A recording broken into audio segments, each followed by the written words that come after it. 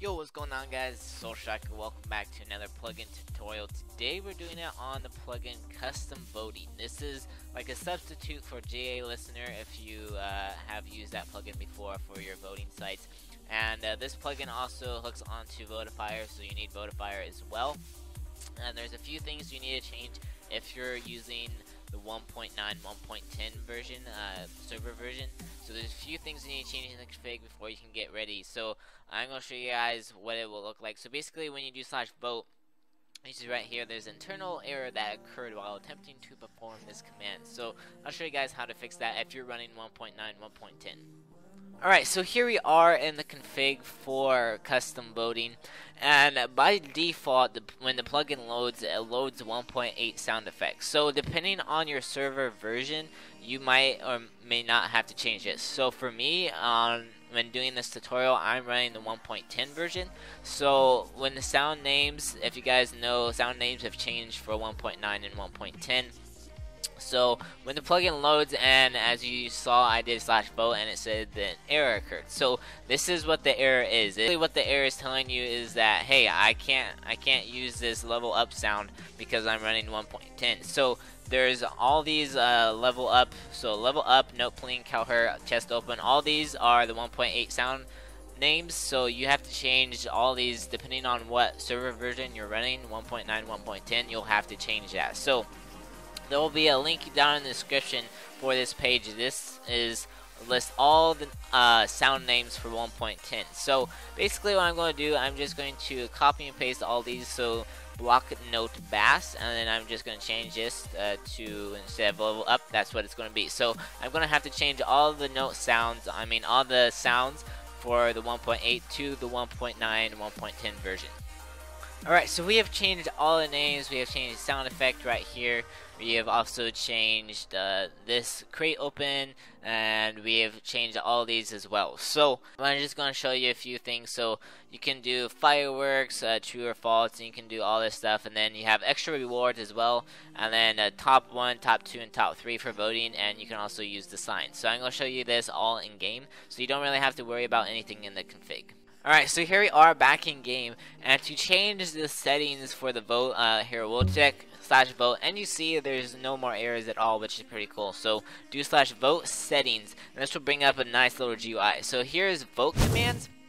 And this will give you the header links and sounds and so we're going to change the header so you can right now what you want to do as you see right here it says uh, vote for whatever name so we're going to change the header for that so we're going to type in uh, we're going to make some really really fancy brackets so we're going to actually we're going to make that purple because I can't think of a name right now so we'll put in the brackets as you see right there vote for YouTube and if we do slash vote again, as you see right there, vote for YouTube. So we have changed that, and then uh, we'll go ahead and type in slash uh, vote settings again. So vote commands, and then we can change the links as well. So this is link one, link two, link three, and link four. So you can change vote the voting link. So as you see right here, here where it says one, and then vote votelink1.com.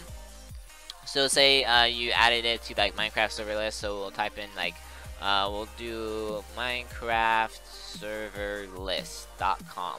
So we'll type in that, and you see vote link one, and then if you do slash vote, and then as you see right there, it has changed MinecraftServerList.com. So what you want to do uh, when you're changing the voting links, of course, get the link URL for your specific voting site, and then just copy and paste it in there when you're editing. So that's pretty pretty cool find this plugin very, very helpful because you can edit everything in the game. You don't have to worry about any of the config stuff, which is really, really cool. So next we're going to go on to rewards. So you can edit vote rewards, edit extra rewards, edit the crate rewards, and then edit the voting rewards. So uh, this is the voting rewards that we have right now as one piece of cobblestone. So obviously you want to get the stuff in your inventory. So uh, say all the voting rewards. Uh, we're gonna have uh, we're gonna have some TNT, some obby. Oops, I didn't mean to grab that, but they can have uh, moss stone. sure, why not? Give them a pumpkin, and uh, we'll give them uh, some diamonds. So we'll give them some diamonds. Obviously, you don't want them to have like 64 diamonds unless you're doing like an OP server or whatnot. So we're gonna give them that, and we're gonna give them a spawn egg. So so we'll do all that, and then we'll go back into vote settings rewards and then edit the vote rewards and we'll stick all this stuff in here. We'll take the piece of cobblestone out because why not. So as you see voting rewards have been updated which is amazing. You can also edit the crate rewards so by default everything is cobblestone so as you just saw from the previous one just go ahead and just change the rewards to whatever. So it's pretty cool how all this stuff works and then the vote crate you can change whatever. We can make an ender chest and whatnot. So you can go ahead and change all that. Go back to the vote settings and now we're going to change the messages. So as you see right here, this is uh, when someone votes.